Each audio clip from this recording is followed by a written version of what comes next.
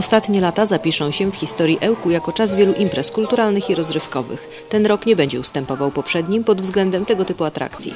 Przygotowano już wstępny plan imprez. Z częścią zespołów umowy są negocjowane, ale wiadomo, kto przyjedzie na pewno. Ełk odwiedzą e, gwiazdy estrady, począwszy od e, Zbigniewa Wodeckiego, Ewy Bem, zespołu Koma, skończywszy na Hej, Perfekt e, i wielu e, innych znanych grup, zespołów, e, artystów. Nie zabraknie imprez, które wpisały się w kalendarz Ełku jak mulatka oraz takich, które dopiero się rozkręcają.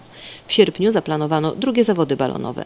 Nad miastem znów pojawią się kolorowe balony, być może wśród nich znajdzie się taki z logo Ełku.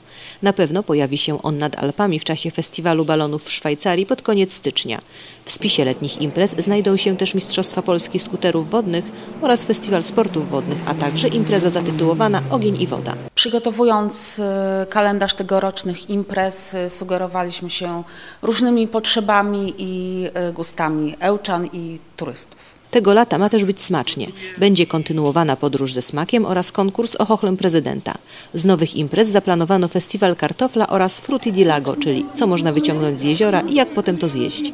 Z kolei w Centrum Edukacji Ekologicznej w maju odbędą się trzecie już ełckie spotkania z filmem przyrodniczym, w czasie których filmowcy natury zdradzają tajniki swojej pracy.